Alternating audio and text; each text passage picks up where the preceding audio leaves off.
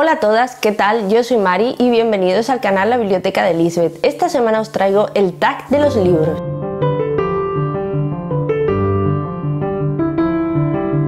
Hola ¿qué tal? Esta semana traigo el book tag de los 20 libros, son 20 preguntas que hablan sobre libros, evidentemente.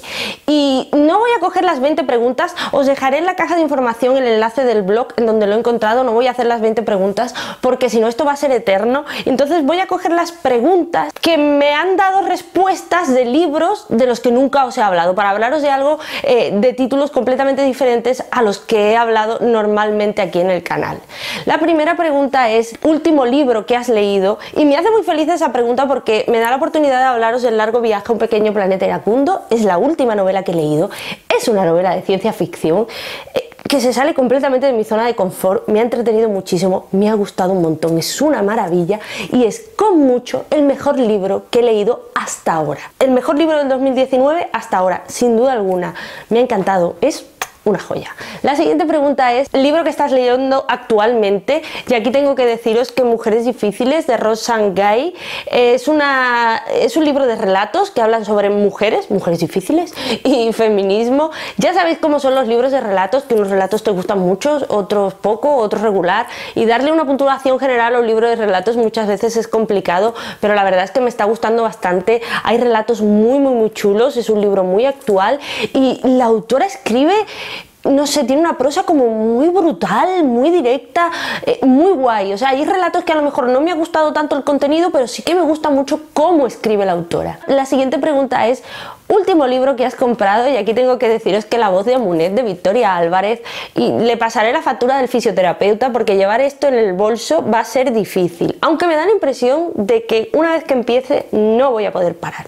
Todo el mundo lo está poniendo por las nubes, es Victoria Álvarez, eh, es una historia ambientada en Egipto, eh, ya sabéis que me encanta esta autora, os he hablado mil veces de ella y no tengo más que recomendarosla una vez más. La siguiente pregunta es, libro que te recuerde a tu adolescencia. Aquí podría decir cualquiera de los que leí en la biblioteca del instituto, pero sin embargo os voy a decir cualquiera de Paulo Coelho, porque yo me he leído y tengo todos los libros de Paulo Coelho todos o casi todos. Los últimos que ya ha publicado no los compré porque ya llegó un punto en que no me gustaba su literatura.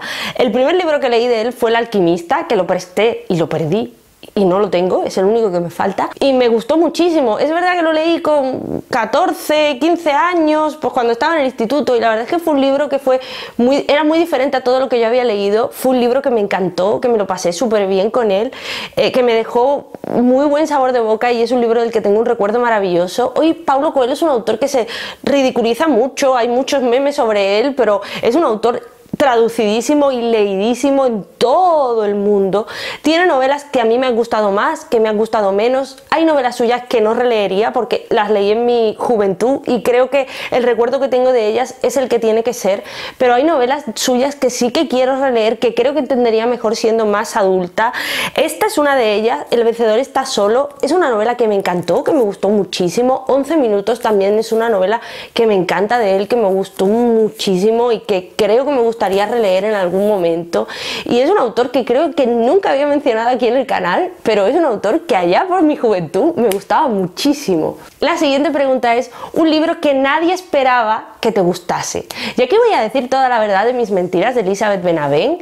Es un libro que leí hace muy poquito, hace un par de semanas os subí una reseña y suscitó algunos comentarios que no me gustaron demasiado, haciendo de menos a la autora por escribir romántica, haciendo de menos a la autora por escribir literatura erótica y haciéndome de menos a mí por leerla a ella. El libro de los gustos está en blanco, pa' gustos los colores y que cada uno lea lo que le dé la gana. Esta mujer escribe literatura, bueno, esta autora, Elizabeth Benavent, escribe literatura romántica y erótica contemporánea, que es un género que a mí me encanta, me divierte muchísimo y con el que yo me paso de maravilla. Es una autora de la que he hablado mil veces en el canal. Creo verdaderamente que ningún género vale menos que otro, que es todo género supone un trabajo tremendo para el autor, que todos los autores merecen nuestro respeto, escriban el género que escriban, que la romántica no es un género menor, ni la erótica es un género menor, y es una autora que me encanta y de la que voy a seguir hablando aquí en el canal, y no sé por qué esos comentarios cuando yo he hablado de Elizabeth Benavent aquí un millón de veces y la he recomendado un millón de veces porque me encanta, y sí, fue un libro que me emocionó y con el que me lo pasé muy bien, porque no sé, me recordó a mis amigas, a lo bien que me lo paso con ellas, y un libro para mí es un refugio y un sitio donde encontrarte bien, y Elizabeth Benavent hace que me encuentre muy bien cuando leo sus libros. La siguiente pregunta es un libro que odies, y aquí os voy a hablar de Caminos de Recuerdos, Recuerdos de un Camino. Este es un libro autopublicado que yo compré hace un par de veranos en Cádiz. Está autopublicado por una autora gaditana y me costó veintitantos euros. No me pesó gastarme el dinero porque lo compré con mucha ilusión para leerlo, para recomendarlo aquí en el canal, porque os recomendaba una autora de Cádiz, que es donde soy yo, y encima de todo autopublicada, que su trabajo le habrá costado autopublicar un libro. Pero es que el libro no cumple unos estándares mínimos de calidad. Yo he leído libros autopublicados que tienen absolutamente la misma calidad que cualquier libro publicado por una editorial tradicional habría que despojarse de esa idea de que la autopublicación eh, tiene peor calidad, pero es que esto no cumple los estándares mínimos. Para entretenerme cogí un lápiz y me puse a arreglarle las faltas de ortografía, porque si vas a publicar algo, por lo menos arregla las faltas de ortografía. Horrible horrible. Además, me da muchísima rabia verlo en la estantería porque no sé qué hacer con él, porque mm, lo cambio, lo pongo de sitio, no lo puedo llevar a la librería de segunda mano ni a la biblioteca y me da mucha pena tirarlo a la basura. Y lo odio porque es que me gasté el dinero tontísimamente y sobre todo por la desilusión que me llevé con él porque me hubiera gustado recomendarlo aquí en el canal. La siguiente pregunta es, un libro que leerías a tus hijos y este es Todos deberíamos de ser feministas de Chimamanda y me vais a decir, ¿le vas a leer un ensayo feminista a tus hijos? Pues cuando tengan edad suficiente para entenderlo sí.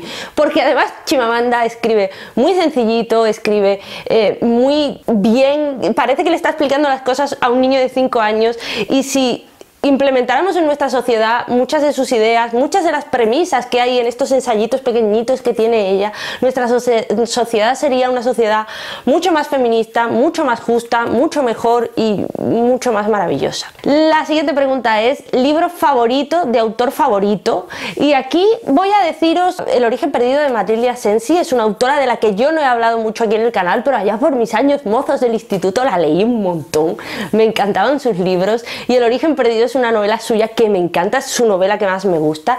Tiene la típica estructura de las novelas de Matilde Asensi, los protagonistas tienen que ir pasando por diferentes pruebas ¿no? para llegar a la resolución del misterio y está ambientada en el Amazonas, habla sobre el lenguaje, sobre el origen del lenguaje, de las palabras y es una novela para mí entretenidísima. La siguiente pregunta es, libro que te recomendaron y aquí me gustaría hablar del juego de Reaper de Isabel Allende. Es un libro que me leí por pura pesadez de mi compañera de trabajo porque no tenía, a mí Isabel Allende no me gusta y cuando ella se leyó el libro eh, me lo recomendó muchísimo, me dijo que como a mí me gustaba la novela de misterio, probablemente me gustaría ese libro, anda, inténtalo, tal, no sé qué. Y la verdad es que me gustó mucho.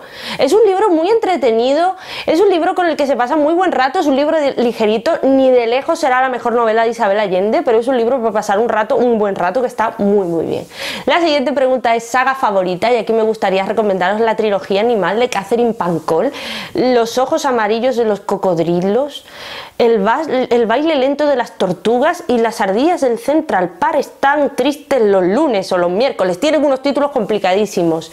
Fue una trilogía que me encantó. Me lo pasé súper bien. Me costó entrar, pero una vez que entré, me gustó muchísimo. Es divertida, es un poco rara como la autora, porque la autora tiene personajes así muy raros. Yo luego he intentado leer otras cosas de ella y no me han gustado, pero esta trilogía me gustó muchísimo y me lo pasé genial con ella. Y la verdad es que cuando se terminó sentí muchísimo la ausencia de los personajes. Esto ha sido todo por esta semana. Espero que os haya gustado el vídeo y recordad que la semana será más corta y menos dura de lo que parece si la pasáis con maravillosas lecturas. Un besito y adiós.